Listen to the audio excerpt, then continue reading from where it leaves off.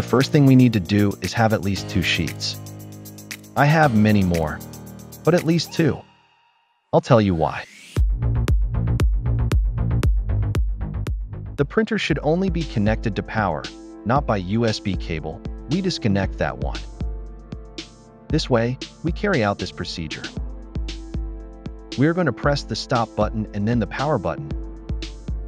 And now we release stop and press 1, 2, 3, 4, 5 and release the power button.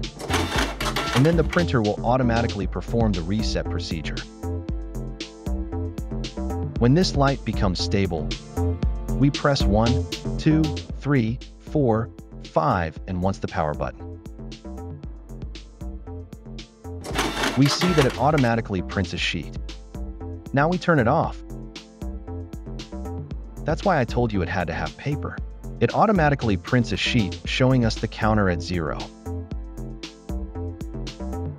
We wait for it to turn off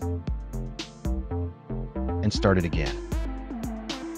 As a factory test, it automatically prints another sheet. So that's why I told you that at least two sheets are needed.